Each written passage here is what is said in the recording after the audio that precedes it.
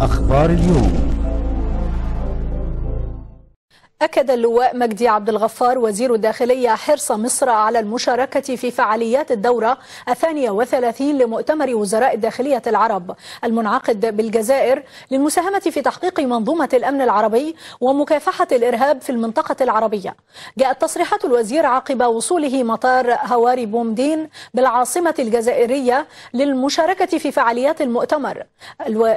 حيث استقبل الوزير محمد علي كومان أمين عام مجلس وزراء الداخلية العرب.